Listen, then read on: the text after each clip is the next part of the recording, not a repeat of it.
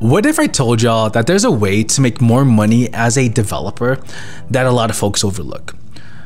Your skills as a developer are more valuable than ever, but I think the better question to ask is are you truly maximizing your earning potential? And so that's why in this video, I wanna dive into how I can help you unlock your new revenue streams and significantly boost your income as a dev.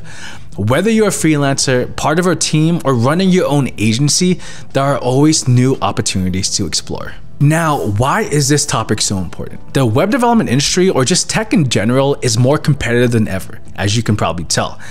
And I think diversifying your income stream is essential to staying ahead. And not just staying ahead, I think just surviving in general, knowing where tech layoffs are. If you do work in tech and you're just like me, you could be laid off anytime, even if you're overperforming and doing overwhelmingly well at your job. And so I think that's why it's so important to have multiple streams of income that could potentially make a huge difference in helping you tap into these opportunities and maximizing your earning potential. Think about it. What if you could start earning more money today by simply tweaking the way you work? So the first thing, let's talk about missed opportunities as a developer. Many developers fall into the trap of relying solely on one platform, one technology, or a single type of service offering. I think this alone can lead to stagnation and really limit your income potential. For example, let's say you're mainly a React developer and you have very little experience in backend development. What this will do is limit the kind of projects you can work on, right? But what if you can use another service to handle the backend for you, meaning now you're able to allow a full stack solution? Kind of cool, right? Now, there's no one tool or platform that can do everything you need as your business grows, but at some point, I think it's important to understand that you'll eventually hit a ceiling if you're only using one service or one stack or one technology. And so being able to explore other platforms that integrate well with your current setup can help you avoid these limitations that I've seen limit opportunities for so many different people. Now let's talk about finding clients. Now, this is a question I get a lot, right? I do have quite a few clients, and just to be transparent with y'all, dudes, as of now, I am making quite a bit with my clients. Literally, before taxes, I'm making about $40,000 a month, and that's life changing money. Now, I do pay a lot of taxes, but this is life changing. And why? Because I simply decided that I don't want to have one source of income. I don't want to be dependent on being laid off again to, to, to find a new job. I want to make sure that I put myself in a situation where if I lose one job, I'm totally fine because I have other clients. I have this side business now that makes me more than a full time job, right? Just kind of crazy. Now, let's answer the question how do you find clients and where do I find these clients? Well, here's the thing. Honestly, I think I go to places you might not even think of because they're right in front of your eyes. I think when folks think about LinkedIn, they only think of it as using that to find a full time job. No, no, no. LinkedIn is literally my go to. Funny enough, two thirds of the clients I work with were found through LinkedIn DMs. Literally, LinkedIn DMs. And I just found another potential client that's willing to pay me 8,000 bucks per month potentially. We're in discussions right now. And how did I find this person? Through LinkedIn.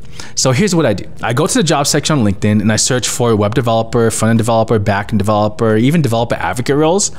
But I don't look for positions at large companies. Okay, I don't look at for for roles at Google or Netflix, Amazon, you name it. But I actually aim for smaller businesses and startups.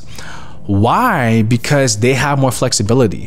Why? Because they want to spend the least amount of money possible why they need help sooner than later. Where at smaller companies, these tech interviews are much shorter, much more quicker compared to interviewing at the larger tech companies. And so when I look at these job descriptions, I try to see if I can fulfill the role, and then I start messaging the recruiter or the hiring manager or sometimes even the COO or co-founder. And usually I prefer to try to contact the, the co-founder who may not have the most extravagant title because they have more time in their hands potentially. And to be honest, y'all, I mean, you'd be surprised how many opportunities are just waiting for you. And what I mean is this there was a role where this company did not advertise or looking for a new developer. I learned that someone quit that role, and literally a week after that person quit, I actually not even a week, a couple days after the person quit, I messaged that person's former manager and asked, "Hey, I heard, let's just call them Abe. Abe left the company. Do you need help with this role? Like you, you already know who I am. Like you know, you, you know me. We've spoken in the past, just casually, through networking actually. And I was like, I can do this for you, right? Do you want to set up a a Zoom meeting just to chat and talk about potential things I can do for you and rates that I charge? And this led to an opportunity. The second time I looked at a job, a website, actually, this will help you out even that much more. When I go to the career section of a company and they have a particular role that says, don't see your job description, don't see the role that you're looking for, apply anyway. And so I actually did that with one client where the exact same thing. There was no particular role that I thought I can fulfill, but they had that one job description, don't see your position here, apply anyway. And that turned into a client right? So so you'd be surprised again by how many opportunities are just waiting for you, but you need to grab it. You can't just wait for opportunities to come. You need to grab and find those opportunities. Now, I think another great way to find clients is also networking, but to be honest, meetups. I remember when I was a new developer, junior developer, even mid-level developer, I'd go to meetups all the time. Why? To network and find a job. But now I have a job. I have clients. I'm not there to get a job. So people are not as close hearted to me, right? Have close hearts to me, are really more open to speak with me. But now when I go to these meetups, rather than trying to find a job, I'm just trying to find people, make friends with them, and casually try to find out do they need help with something? Are they looking to hire someone? Maybe they don't want to hire someone and pay them full time and then pay them health insurance and you know invest in the IRA or whatever. You know what I mean? What, what happens when you become a full time employee? Maybe if they know that they can hire a contractor like me, I can actually help save them money in the long run. And so now when I go to these meetups, it's literally trying to find out who needs to hire someone and how can I let them know, hey, you know what? I actually do some contracting work on the side. If you need me to help write some code for you, yo, you you you, you know my resume, or now you know my resume because I told you I can do this for you for much cheaper, man. Just let me know. One example I can think of is when I met one client who was willing to pay a full-time front-end software engineer $160,000 a year. That's about I think $13,000 a month. And I offered them, hey, I can do this for you for $9,000 a month right? There won't be as many meetings that you probably want with your, with your full-time employee, but we can meet every single week and I'll be available to DMs throughout the entire week and I can do this for you. Right. And so then that turned into a client and started making my money. And by the way, for those who are wondering, how did I learn all this? Dudes, I was laid off September of last year, almost a year ago, literally almost like, yeah, 11 months ago. And I had to figure out to survive because my main YouTube channel, brand deals were going down because my channel wasn't performing as well anymore. I, I, I literally was running out of money. And so I had to figure out a way to do this. And this is how I learned it.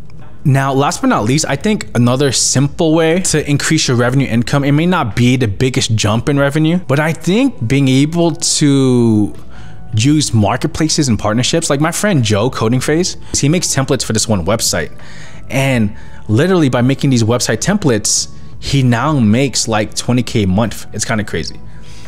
And so I think figuring out a way where you can make potential templates or find a marketplace to help you reach new clients without a lot of upfront effort, I think could go a long way. For instance, um, like the Wix marketplace connects you directly with clients who are specifically looking for web development services. So check that out, okay? So it's like this Wix marketplace that will literally connect you directly with clients who are looking for people to build stuff for them, which means they're already giving you a ready-made audience to tap into. And I think this is such such an easy way to expand your client base without spending hours like I do on LinkedIn, outreach and cold emailing, emailing people. I actually hire a salesperson to do this for me now. Um, plus, I think being part of a marketplace often gives you more credibility right from the start. So there's there's a lot of ways on how you can increase your income as a freelancer, a contract, or even just as a web developer in general. There's a lot more ideas that I have. I'll probably include some other videos, but I don't want to make this video too long. But these are some ideas I think could really help you increase your income on the side, if not full time, and change your life forever the way it's changing mine. Anyway, I hope y'all liked the video. I'll see y'all next one. Peace.